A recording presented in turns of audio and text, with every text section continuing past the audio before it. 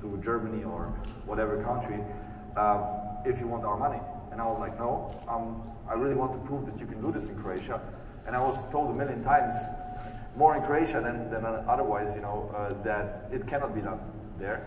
But it, we, I was so stubborn and made my life really difficult because of it. It would have been a much easier journey if I would have done